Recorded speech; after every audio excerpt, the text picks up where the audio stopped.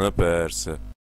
Napok óta azon agyalok, hogy utóvégre mit is láttam csütörtöki vasember, fémember, mi? Acélember sajtóvetítésem, de ehhez elő szükséges tisztázni, hogy alapvetően mit is vártam. Az Acélember című afféle Superman reboot is Chris Nolan nevével van fémjelezve, értitek? Fémjelezve, ám ezúttal csupán mint producer. A rendezés pedig Zack Snyder kezébe adták, akit én személy szerint annyira nem szeretek, de úgy voltam vele, hogy ha Nolan rajta tudja tartani a kreatív gyeplőt és nem engedi, hogy Snyder egy újabb CGI masturbáció színhelyévéző lesz a Man of Steel-t, akkor már nagy baj nem lehet. Igazából nincs is nagy baj, a Superman egy remek kis látványfilm, ha az ember nem vár tőle semmi többet. A film első fél órájában a kripton pusztulását látjuk, az azt követő egy teljes órában pedig időbeli ugrálást ide-oda Clark Kent életéből, ahol békés halászás közben dönt úgy, hogy kiment pár embert egy finomító toronyból, vagy éppen iskolásként, amikor félkézzel kitolja az iskolabuszt a folyóból, egészen addig, amíg a múlt kísértő árnyaként fel nem bukkan Zottábornak, hogy konvertálja a földet kriptonná. Supermannek döntenie kell, hogy megy vagy marad. Teljesen őszinte leszek, aki valami velőt rázó cselekményt vár, esetleg egy vérfrissített Superman karaktert, vagy értelmes karaktereket úgy általában, az csalódni fog. A Man of Steel egy közönséges látványfilm, amit kicsit sajnálok, mert ezek szerint Nolan a nevén és a karakterkészleten túl sok mindent nem tett a film mellé. Szerkezetileg amúgy hasonlóan épül fel, mint a Batman Begins. Rohadt hosszú felvezetés, majd némi akció a végén és szevasz. Itt minden nagyobb, hosszabb a felvezetés és látványosabb a lezárás. A állók is megirigyelni azt a pusztítást, amit a film végi párbajban levezényel egymás között Superman és Zod tábornok, szóval ebből a szempontból korrekt a film. Az más kérdés, hogy mindehez két és fél órányi játékidő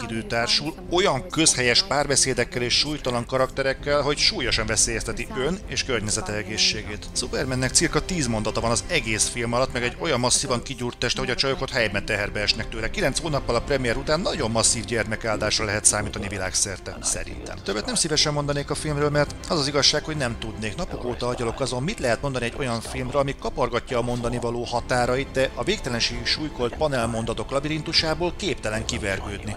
Igazából egy vállalható Superman mozi, de biztos, hogy sem Snyder, sem Nolan karrierének nem ez fog új távlatokat adni. De még az újkori Batman filmek mellé sem biztos, hogy oda tehető. A folytatást remélem nem Snyder kezébe adják, mert szerintem, amiben jobb lehetett volna a Man of Steel, az miatta nem lett az.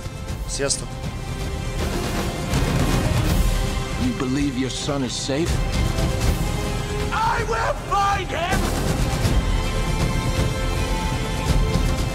Father believed if the world found out who I really was, they'd reject me. He was convinced that the world wasn't ready. What do you think? What's the S stand for? It's not an S. On my world, it means hope. Well, here it's an S. How about... Super... Excuse me.